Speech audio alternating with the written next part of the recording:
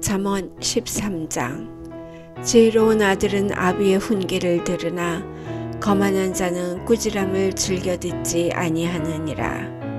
사람은 입의 열매로 인하여 복록을 누리거니와 마음이 괴사한 자는 강포를 당하느니라.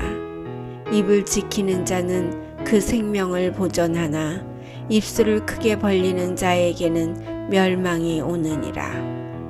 게으른 자는 마음으로 원하여도 얻지 못하나 부지런한 자의 마음은 풍족함을 얻느니라. 의인은 거짓말을 미워하나 악인은 행위가 흉악하여 부끄러운 데 이르느니라. 의인은 행실이 정직한 자를 보호하고 악은 죄인을 패망케 하느니라. 스스로 부한 채 하여도 아무것도 없는 자가 있고 스스로 가난한 채 하여도 재물이 많은 자가 있느니라. 사람의 재물이 그 생명을 속할 수는 있으나 가난한 자는 협박을 받을 일이 없느니라. 의인의 빛은 환하게 빛나고 악인의 등불은 꺼지느니라. 교만에서는 다툼만 일어날 뿐이라. 겉면을 듣는 자는 지혜가 있느니라. 망령되이 얻은 재물은 줄어가고 손으로 모은 것은 늘어가느니라. 소망이 더디 이루게 되면 그것이 마음을 상하게 하나니 소원이 이루는 것은 곧 생명나무니라.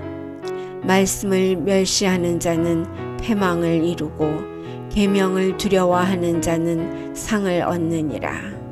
지혜 있는 자의 교훈은 생명의 셈이라. 사람으로 사망의 그물을 벗어나게 하느니라. 선한 지혜는 은혜를 베푸나 괴사한 자의 길은 험하니라. 무릇 슬기로운 자는 지식으로 행하여도 미련한 자는 자기의 미련한 것을 나타내느니라.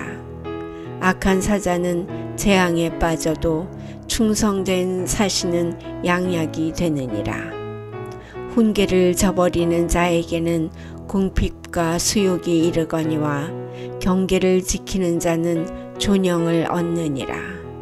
소원을 성취하면 마음에 달아도 미련한 자는 악에서 떠나기를 싫어하느니라. 지혜로운 자와 동행하면 지혜를 얻고 미련한 자와 사귀면 해를 받느니라. 재앙은 죄인을 따르고 선한 보응은 의인에게 이르느니라.